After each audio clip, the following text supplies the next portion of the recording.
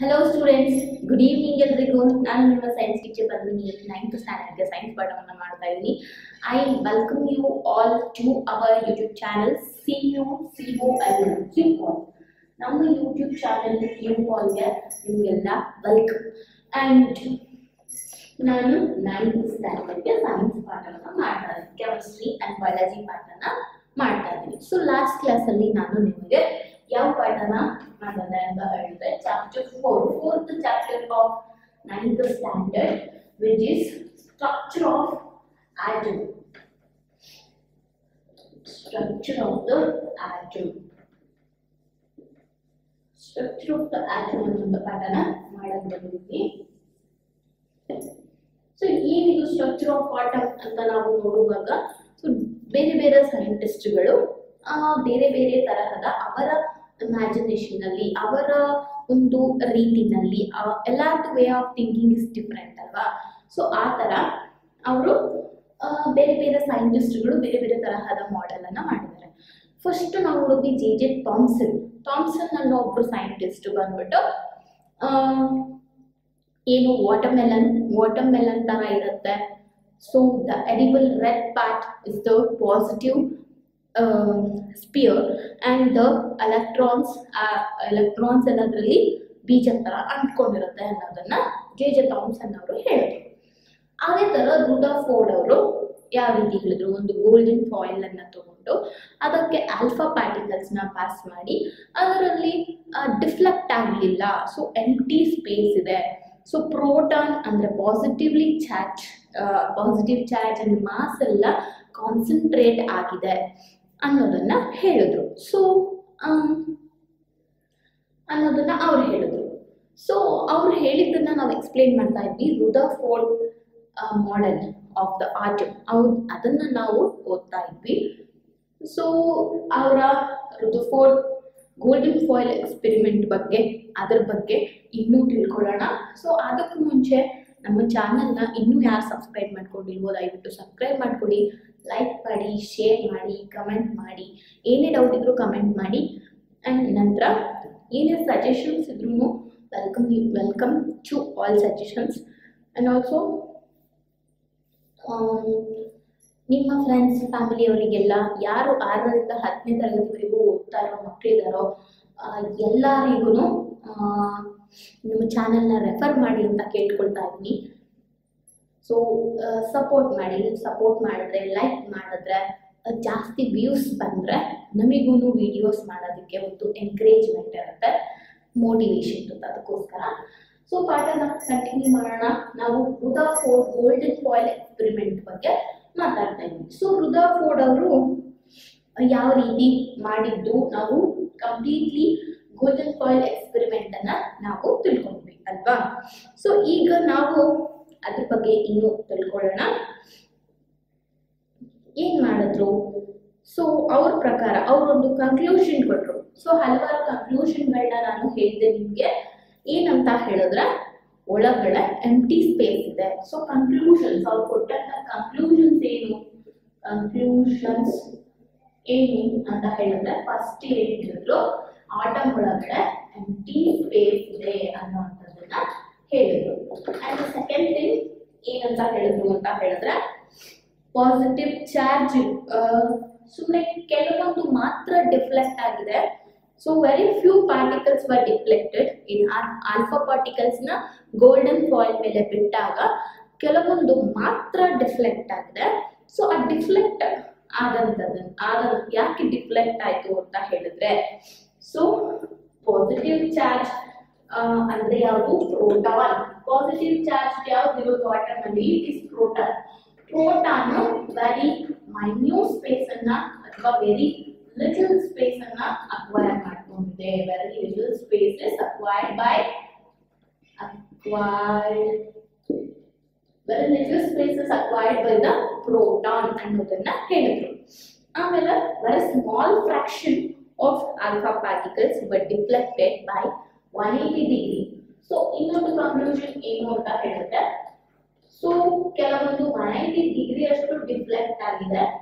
ಏನದು? ಯಾಕೆ ಅಷ್ಟು ಡಿಫ್ಲೆಕ್ಟ್ ಆಯ್ತು ಅಂತ ಕೇಳೋದಾದ್ರೆ, ಎಲ್ಲ ಕಾನ್ಸಂಟ್ರೇಟೆಡ್ ಆಗಿ ಸ್ಮಾಲ್ ವಾಲ್ಯೂಮ್ ಅಲ್ಲಿ ಇದೆ. Concentrated in small volume so one eighty degree ಮಾತ್ರ ಡಿಫ್ಲೆಕ್ಟ್ ಆಗಿದೆ. ಅದೇನು ಏನ್ ಹೇಳ್ತಾರೆ it indicates that all the positive charge and mass of the gold atom are concentrated concentrated in a very small volume within the atom. So, atom ನ very small volume ಅಲ್ಲಿ proton ಇರ್ಬೋದು ಅಥವಾ mass ಇರ್ಬೋದು ಎಲ್ಲದೂ concentrate ಆಗಿದೆ ಅನ್ನೋದನ್ನ ಹೇಳಿದ್ರು.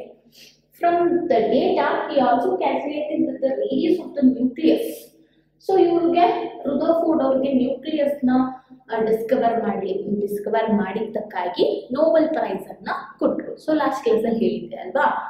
So ಅವರು ನ್ಯೂಕ್ಲಿಯಸ್ ಇದೆ ಅನ್ನೋದನ್ನ ಕಂಡುಕೊಂಡ್ರು. And also radius of the nucleus ಅನ್ನು ಸಹ ಅವರು ನೋಡ್ಕೊಂಡ್ರು, ತಿಳ್ಕೊಂಡ್ರು. ಓಕೆನಾ ಸೊ ಏನಂತ ಹೇಳಿದ್ರೆ nucleus is about ten to the power of five times less than the radius of atom so radius of nucleus ಎಷ್ಟಿದೆ ಅಂದ್ರೆ ten to power of five times smaller than the radius of of an atom ಆಟಮ್ನ ten to power of five times ಚಿಕ್ಕದಾಗಿದೆ ನ್ಯೂಕ್ಲಿಯಸ್ನ radius so nucleus ಅಂದ್ರೆ ಏನು? ನಾವು cell ಅಲ್ಲಿ nucleus ಇರುತ್ತೆ spherical structure it is which is present the centre part of the cell ಅನ್ನೋದನ್ನ ತಿಳ್ಕೊಂಡಿದ್ವಿ, ಅಲ್ವಾ? ಸೊ ಅದನ್ನ ನಮಗೆ ಗೊತ್ತಿದೆ. But what is this nucleus ಏನಿದು ನ್ಯೂಕ್ಲಿಯಸ್ ಅಂತ ಹೇಳ್ತಿದ್ದಾರೆ? ಏನು ಅಂತ ಹೇಳಿದ್ರೆ ಸೊ ಇವ್ರ ಪ್ರಕಾರ ಆಟಮ್ ಸ, ಏನು ರುದಫೋರ್ಡ್ ಫೋರ್ಡ್ ಏನಿದ್ದಾರೆ? ಸೈಂಟಿಸ್ಟ್ ಅವ್ರ ಪ್ರಕಾರ ಆಟಮ್ ಒಂದು ಸ್ಪೆರಿಕಲ್ ಸ್ಟ್ರಕ್ಚರ್ ಅದರ ಮಧ್ಯದಲ್ಲಿ ಜಸ್ಟ್ ಲೈಕ್ ಸೆಲ್ಲಲ್ಲಿ ಯಾವ ರೀತಿ ನ್ಯೂಕ್ಲಿಯಸ್ ಇರುತ್ತೋ ಇಲ್ಲಿ ಕೂಡ ನ್ಯೂಕ್ಲಿಯಸ್ ಇರುತ್ತೆ. ಸೊ ನ್ಯೂಕ್ಲಿಯಸ್ನ ರೇಡಿಯಸ್ನು ಕೂಡ ಅವರು ಹೇಳಿದ್ರು. ಓಕೆನಾ On the basis of his experiment, Rutherford put forward the nuclear model of an atom. So ಅವರು ನ್ಯೂಕ್ಲಿಯರ್ ಮಾಡೆಲ್ನ ತಯಾರು ಮಾಡೋದು. ಇನ್ನೊಂದು ಮಾಡೆಲ್ ನಾಟ್ ದಿಸ್ ಮಾಡೆಲ್ ಇವಾಗ ಇನ್ನು ನಾನು ಗೋಲ್ಡನ್ ಫಾಯಿಲ್ ಏನಿತ್ತು ಅದೆಲ್ಲ ಅದು ಬಿಟ್ಟು ಇನ್ನೊಂದು, ಅದನ್ನ ಬಿಟ್ಟು ಇನ್ನೊಂದು ನ್ಯೂಕ್ಲಿಯರ್ ಮಾಡಲ್ ಆಫ್ ಅನ್ನ ಮಾಡಿದ್ರು.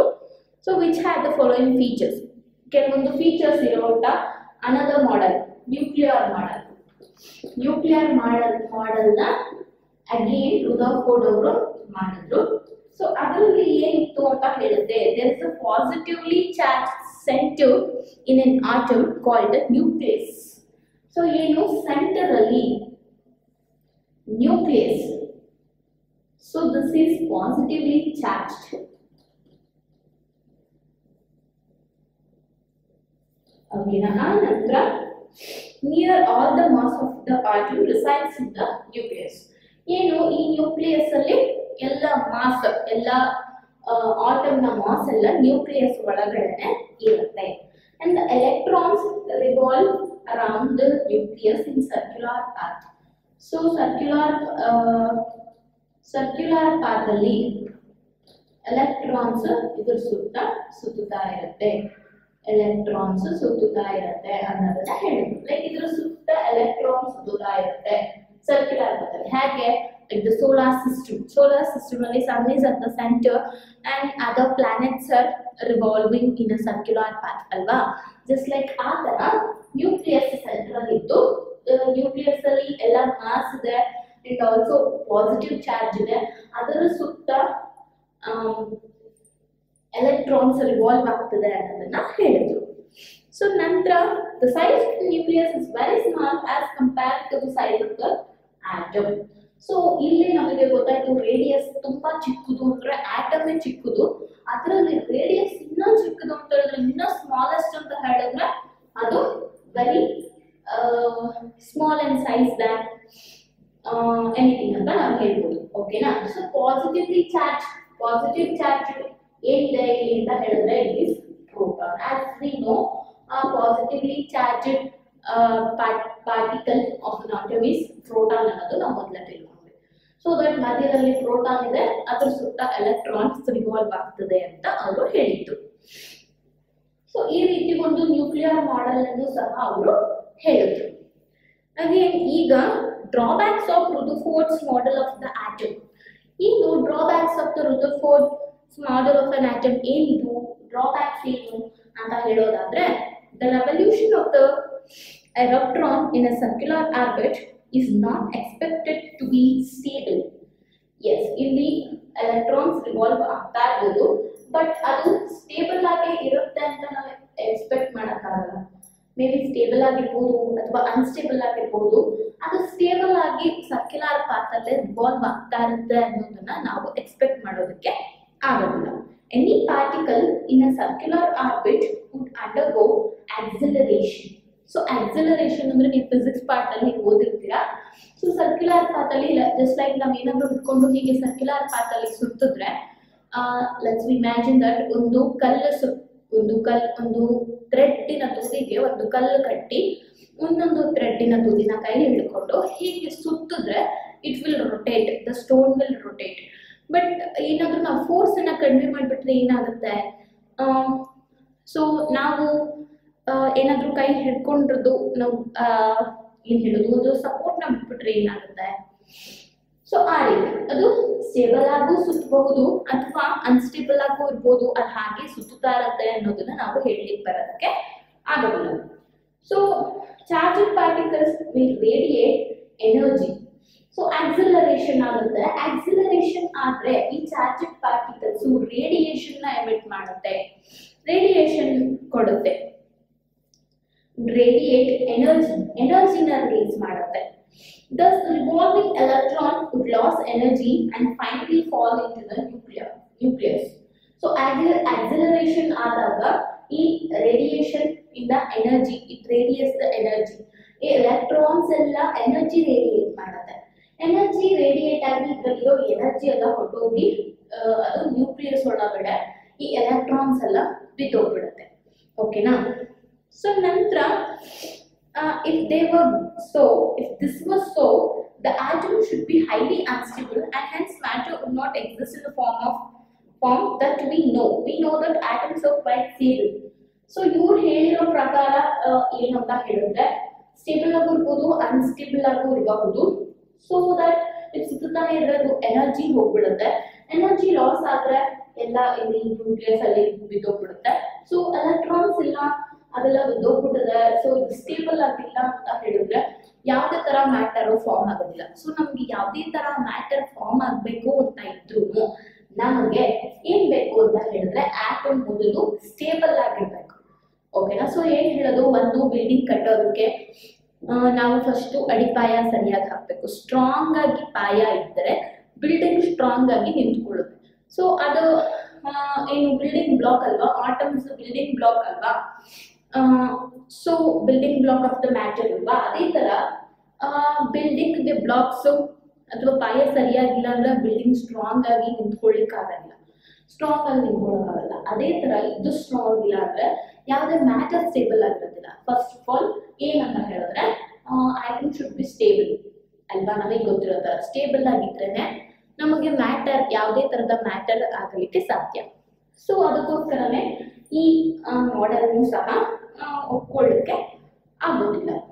ಸೊ ದಟ್ ಏನಾಯ್ತು? ಅವರ ಎರಡು ಮಾಡೆಲ್ಸ್ ನೋಡಿದ್ವಿ ನಾವು. ಒಂದು ನ್ಯೂಕ್ಲಿಯರ್ ಮಾಡೆಲ್ನ ಈ ರೀತಿ ಎಕ್ಸ್ಪ್ಲೈನ್ ಮಾಡಿದ್ರು. ಇನ್ನೊಂದು ಗೋಲ್ಡನ್ ಫಾಯಿಲ್ ಎಕ್ಸ್ಪೆರಿಮೆಂಟ್ ಮುಖಾಂತರನೂ ಅದನ್ನ ಹೇಳಿದ್ರು. ಸೊ ಅದರಿಂದ ನಮಗೆ ನ್ಯೂಕ್ಲಿಯಸ್ ಇದೆ ಅನ್ನೋದು ಗೊತ್ತಾಯ್ತು. ಸೊ ನ್ಯೂಕ್ಲಿಯಸ್ ಇದೆ ಅನ್ನೋದು ಗೊತ್ತಾಯ್ತು. ಎಲೆಕ್ಟ್ರಾನ್ಸ್ ಸರ್ಕ್ಯುಲರ್ ಪಾತಲ್ಲಿ ರಿವಾಲ್ವ್ ಆಗ್ತದೆ ಅನ್ನೋದು ಗೊತ್ತಾಯ್ತು. Positively charged materials will be inside the nucleus ಅನ್ನೋದು ಗೊತ್ತಾಯ್ತು. ಸೊ ಇದೆಲ್ಲ ನಮಗೆ ರುದುಫೋರ್ಡ್ ಅವರ ಮಾಡೆಲ್ ಇಂದ ಗೊತ್ತಾಯ್ತು, ಅಲ್ವಾ? ಸೊ ಅವರಿಗೆ ಸೊ ಹೀಗೆ ಥಾಮ್ಸನ್ ಅವರ ಮಾಡೆಲ್ ಇಂದನು ಎಲೆಕ್ಟ್ರಾನ್ಸ್ ಇರುತ್ತೆ ಅನ್ನೋದು ಗೊತ್ತಾಯ್ತು ಪ್ರೋಟಾನ್ಸ್ ಇರುತ್ತೆ ಅನ್ನೋದು ಗೊತ್ತಾಯ್ತು. ಬಟ್ ಅದು ಯಾವ ಪಾತಲ್ಲಿದೆ ಯಾವ ಅರೇಂಜ್ಮೆಂಟ್ ಅಲ್ಲಿ ಇದೆ ಅನ್ನೋದು ಮಾತ್ರ ಗೊತ್ತಾಗಲಿಲ್ಲ, ಅಲ್ವಾ? ಸೊ ದಟ್ ಅದೇ ತರ ಇದರಿಂದನೂ ಸಹ ನಮಗೆ ಅವರಿಂದ ಪ್ರೋಟಾನ್ ಮತ್ತೆ ಎಲೆಕ್ಟ್ರಾನ್ ಗೊತ್ತಾಯ್ತು, ಇವರಿಂದ ನ್ಯೂಕ್ಲಿಯಸ್ ಗೊತ್ತಾಯ್ತು ಎಲೆಕ್ಟ್ರಾನ್ಸ್ ರಿವಾಲ್ವ್ ಆಗ್ತಾ ಇದೆ ಸರ್ಕ್ಯುಲರ್ ಆರ್ಬಿಟ್ ಅಲ್ಲಿ ಇನ್ನೊಂದು ಗೊತ್ತಾಯ್ತು. ಸೊ ನೆಕ್ಸ್ಟ್ ಇನ್ನೊಂದು ಮಾಡೆಲ್ ಇದೆ. ಇನ್ನೊಬ್ಬರ, ಇನ್ನೊಬ್ರು ಮಾಡಿರುವಂತ, ಇನ್ನೊಬ್ರು ಪ್ರಪೋಸ್ ಮಾಡಿರುವಂತ model Bohr's model of atom Bohr's model of atom